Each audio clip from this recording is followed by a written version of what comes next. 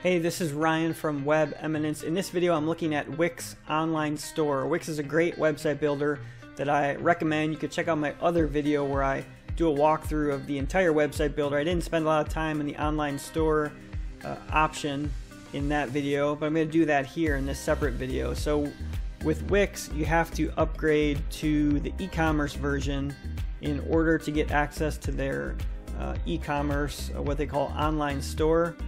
You can check out my other video on Wix pricing for more information about pricing at the different levels and what's included. So if you have access to a plan that has e-commerce, uh, you'll see this online store app here in the in your Wix account. So I'm going to click on online store. So this window here is where you manage your online store and right away one of the things I don't love about it is that it's a small window within the larger window. So already you're working in a smaller area, which kind of shows you that there's not a huge focus on online selling with Wix. It's just one widget that's kind of built in to their uh, platform. So I'll go through this here just to give you an idea of what can be done here. It is full featured. It does allow you to do a lot with your selling of products. You can add products here. I have a bunch of sample products already added. So if I were to click on one, you'd see you can add a title, price, you can uh, add them to collections. You can add photos and videos for a product, uh, an overview and details, uh, a ribbon, which is like a design a feature basically that I'll show you later, and then a retail price, weight, and then there's some options for managing uh, inventory and variations like size and color. And then you could turn the visibility on and off for a product. I go back to the online store manager, this is where you're going to uh, manage and view your orders. You can set your payment method here, and you see they integrate with some different payment processors like PayPal, Skrill, uh, Authorize.net. So this is where you'd link up your uh, payment processor. You can change your currency and your weight units that you're using. You can set up coupons, and that would be a code that would give a, a percentage discount so there's a few basic options for coupon discounts. Here's where you set your shipping options. There's a optional handling fee, and then you can basically set shipping uh, calculations by price or weight ranges using these shipping rules. And then there's some options for setting uh, a tax. So it's pretty basic e-commerce, not a lot of advanced features that you might find in like a full-blown e-commerce platform like Shopify or Volusion or BigCommerce. Some of those I've reviewed so you can check those out in other videos on my channel. So once you're done with the store manager, you can always go back there to change your settings and add products. But once you're in your site editor, you can then click on add and you'll see the option to add uh, online store elements.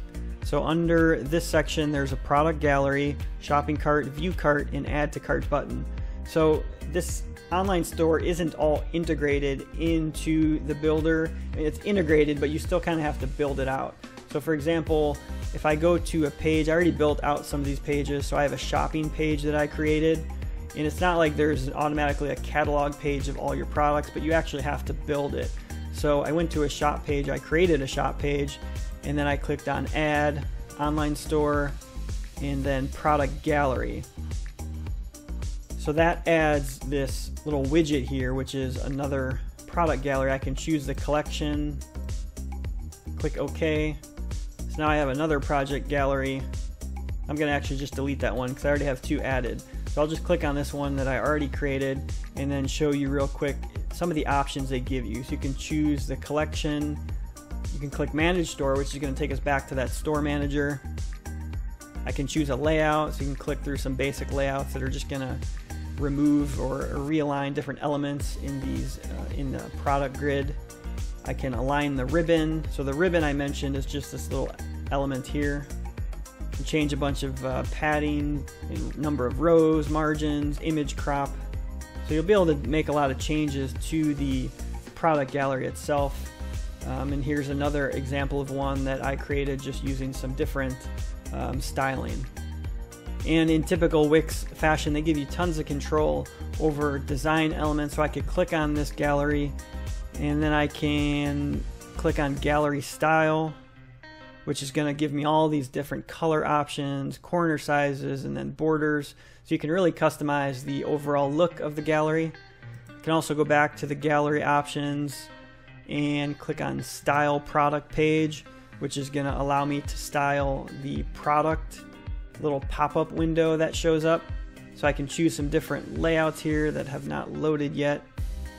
Um, image mode spacing um, product social share options. So lots of options to customize the product gallery and the product uh, page that pops up so if we go back to the online store widget options there's a shopping cart view cart and add to cart button so I can manually add an add to cart button to the screen and just select the product.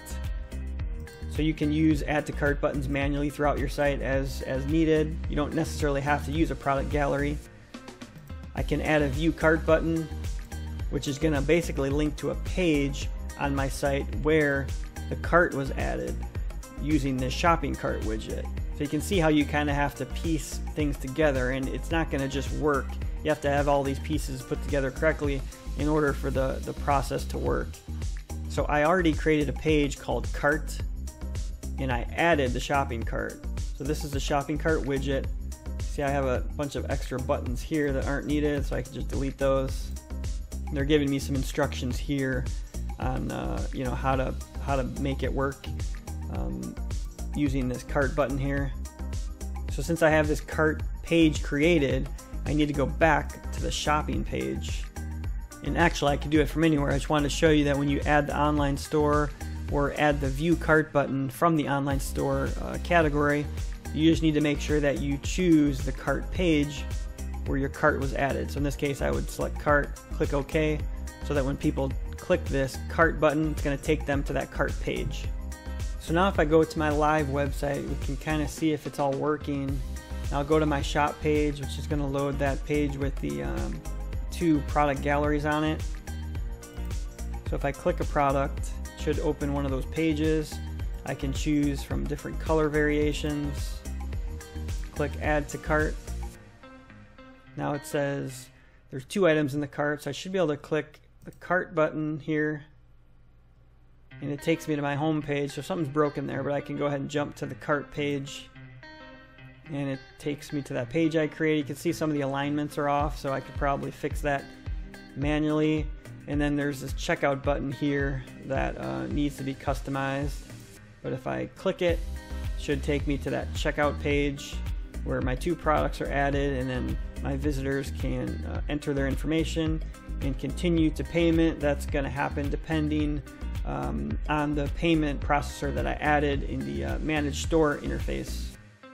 So that's a quick overview of the Wix e-commerce option, their online store. You can tell just from me playing around with it there, it's a little bit piecemealed. You kind of have to make sure things are all set and even from spending some time putting it together, I even missed a few steps that weren't entirely obvious. So it's probably pretty easy to go back and figure out uh, what I did wrong, but the, you got to create the shopping pages and the cart pages. So it does give you a lot of flexibility, but it requires a little bit more work to get everything working properly.